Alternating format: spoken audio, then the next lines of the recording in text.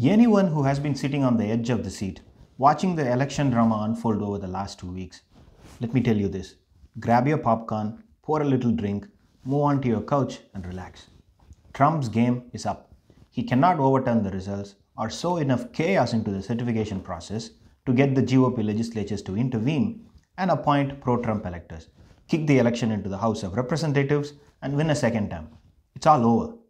Yesterday, after a bit of a small delay, Brad Raffensperger, Georgia Secretary of State, certified the election results. Despite having no need to, Governor Brian Kemp immediately signed off on the certification and appointed the 16 Georgia electors for Joe Biden. Biden won the state by 12,000 votes. As I had explained in one of my earlier videos, the White House meeting between Donald Trump and Michigan lawmakers was a publicity stunt aimed at drowning out Georgia certification.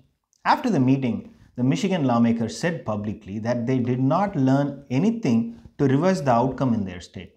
In a joint statement issued by Michigan Senate Majority Leader Mike Shirkey and Speaker of the House Lee Chatfield, they said, We will follow the law and follow the normal process regarding Michigan's electors, just as we have said throughout this election. I was kind of expecting the above statement, but what I did not expect was the following. The joint statement also read, We have not yet been made aware of any information that would change the outcome of the election in Michigan. Now, this statement puts a bit more pressure on the two GOP members in the Michigan statewide board of canvassers, which also includes two other Democratic members. It makes it very difficult for them to deadlock. But even if they deadlock, since the county level certification is already over in Michigan, they do not have an avenue to stop the certification, as a deadlock will be argued in the court and the court will ask the board to certify or it may even certify the certification on its own. Sorry, or it may even issue the certification on its own. Now, more than Michigan, the path for awarding Arizona's 11 electors has also been cleared. On Friday, the legal challenge to the election in Arizona, the last pending lawsuit in the state, was dismissed. And take a minute to observe this. The five member Board of Supervisors in Maricopa County, the county with the most number of voters in the state, certified the results. Of the five members in the board, four are Republicans. With Maricopa certified, the county, which accounts for 60% of the voters in the state, it clears the deck for Arizona Secretary of State Katie Hobbs, a Democrat, to certify the results. Once she does, the governor's signature is only a ceremonial job.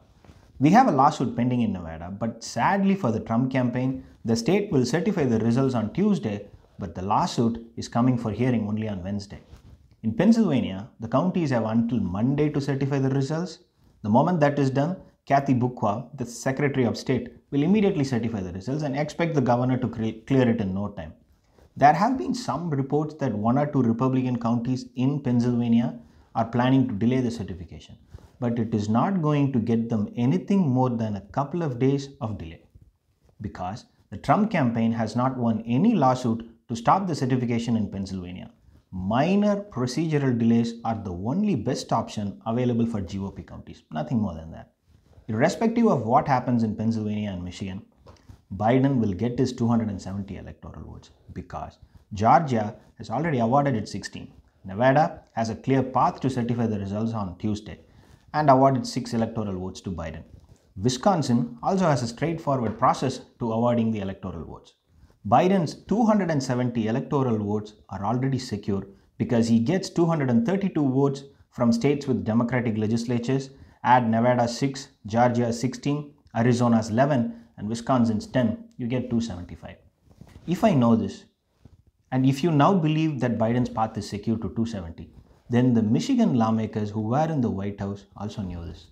The moment Georgia certified the results, and the moment they knew Arizona is also out of the way when Maricopa certified its results, why would they stake their careers when they already know 270 is already in the bag for Biden?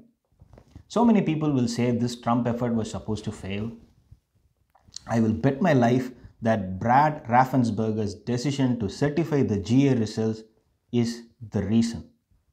If he had not done that, if he had not certified it, Trump could have convinced the GOP's Michigan lawmakers because there was a way to confuse the process. That it will all come down to one man with morals to stop a man with anything but that is a fitting tribute to his presidency and his efforts to overturn the results. It's over.